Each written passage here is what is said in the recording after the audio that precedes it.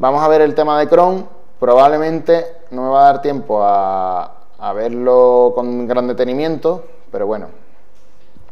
Chrome es un servicio eh, dentro del sistema Linux que se encarga de hacer tareas programadas. Se, encarga de programar tareas. Entonces, nosotros eh, podemos ejecutar tareas programadas dentro de nuestro sistema Linux, ¿vale? Eh, cron es un servicio que se, que se le denomina demonio, ¿vale? Un demonio es un proceso que está en segundo plano de forma permanente a la escucha y cada hora, no, perdón, cada minuto, una vez por minuto, el demonio se despierta busca los ficheros de configuración a ver si hay alguna tarea que él pueda hacer y si la hay, pues la hace, la ejecuta, ¿vale? Me voy a saltar eh, cron de sistema y voy a quedarme con cron de usuario, ¿vale? Que son las que nos interesan a nosotros. Como usuario nosotros tenemos un, un cron tab, ¿vale? Un, un fichero de cron que nos permite ejecutar tareas. Entonces, eh,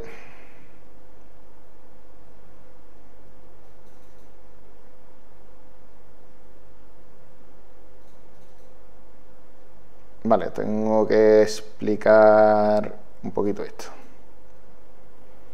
Tengo que explicar un poco la sintaxis del, fichero, ¿vale? La sintaxis del fichero tiene que ser un tanto que así, ¿vale?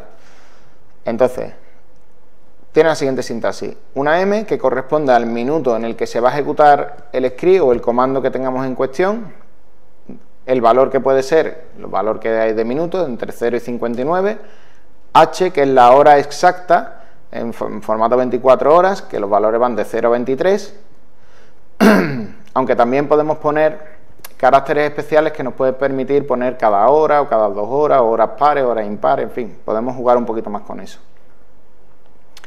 Eh, DOM hace referencia al día del mes, que se puede especificar eh, el número, ¿vale? Eh, del 1 al 30, generalmente, pues cualquier día del mes. MON hace referencia al mes del año que, desea ejecutar, se puede poner en formato numérico o los tres primeros caracteres en inglés. Yo normalmente lo suelo poner en formato numérico, que así me ahorro un poco esto. Eh, down, que significa el día de la semana, que puede ser numérico, del 0 al 7, donde 0 y 7, ambos dos días, 0 y 7 es domingo, ¿vale? Entonces esto es importante tener en cuenta. O las tres primeras letras del día en inglés, cosa que tampoco... Después, user define el usuario que va a ejecutar el comando y por último está el comando que vamos a ejecutar. Por ejemplo, si yo quiero realmente, pues yo tengo un script dentro de mi usuario curso, ¿vale? Yo me voy a generar un script aquí. Eh, bueno, más que generarme un script, vamos a hacer otra cosa. Eh, el cron para usuario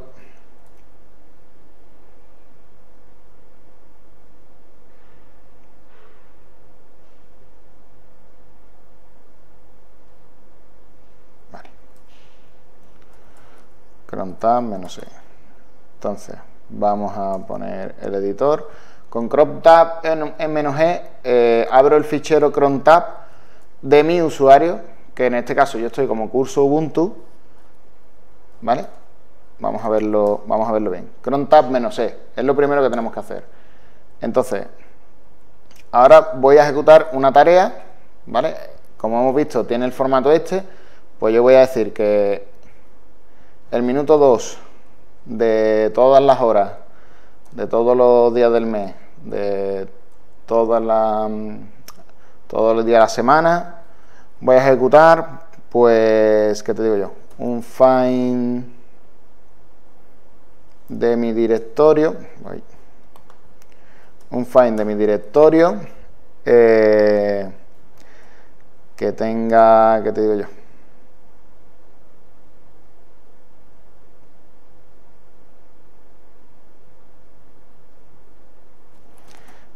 que tenga el punto TMP, todo lo que encuentre que tenga punto TMP, que le haga un RM. ¿Vale? Entonces, todos los ficheros que yo vea cada dos minutos va a ejecutar esta tarea. Yo salvo la tarea, ¿vale? Y ya tengo un nuevo, una nueva tarea programada. Entonces, si yo creo cualquier fichero,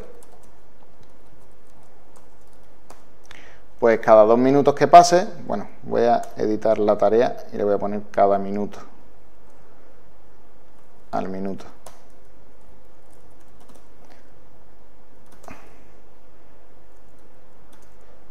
En cualquier momento, pues esta, como tengo el, el cron tab puesto, cuando pase un minuto,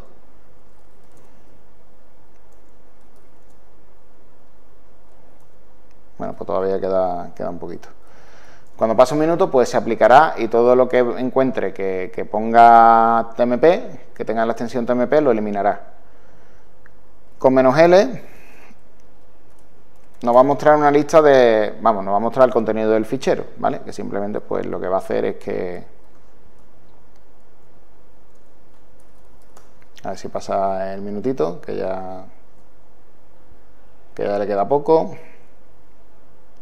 57, 59, vale, ya ha pasado el minuto. Si era un ls, bueno, pues se suponía que esto te tendría que borrar y no está borrado. No sé si a lo mejor ha sido porque el, el de esto está mal. Vale, sí, está mal.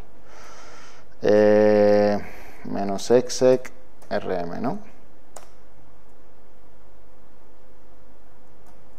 Eh, dólar 1. No.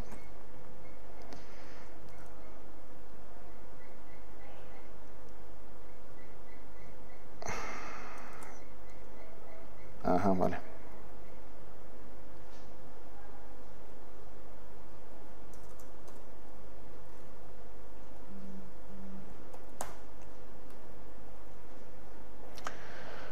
Las rutas deben preceder la extensión.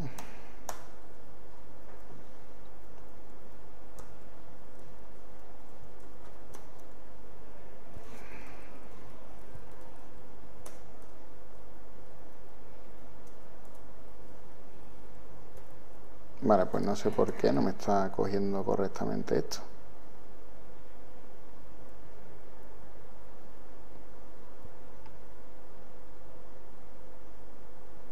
Las rutas deben preceder las tres expresión. Bueno, pues esto me lo hace, ¿no? Vale.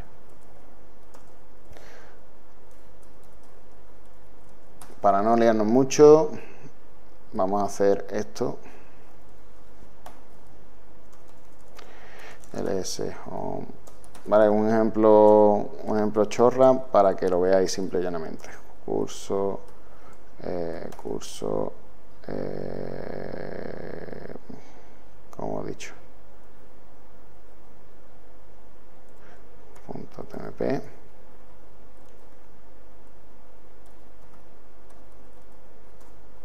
Vale. Entonces ahora en el siguiente minuto, ¿vale? Que ya me, que ya me he colado, en el siguiente minuto pues se borrará de aquí la tarea en cuestión, ¿vale? crontab menos e edita, crontab menos L visualiza y crontab menos R elimina la tarea en cuestión, ¿vale? Si yo ejecutara el crontab menos R, lo voy a ejecutar ahora cuando, cuando tengamos la tarea finalizada. ¿Vale? Y ahora damos un... Bueno, no vamos a dar mucho descansito. Vamos a ver inmediatamente después de esto las preguntas, ¿vale? Voy a responder algunas preguntas y con esto damos por finalizado el curso, ¿vale? Vale, ya está. Ya está finalizado, tampoco me lo ha hecho. Muy bien. me va a dejar esta última prueba por mentiroso. Vamos a ver. Si yo hago esto, ¿qué pasa? Vale. Pues yo he dicho el minuto. El minuto 1 de todas las horas. Ah, claro, el minuto 1. Vale, vale. Vale. La, la he liado porque, porque estoy diciendo que es el minuto 1. Esto pasa por ir, por ir rápido.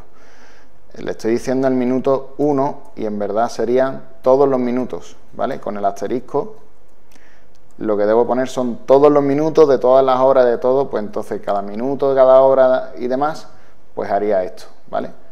Entonces ahora, ahora ya sí, cuando hagamos el date, pues, pues pasará esto. vale.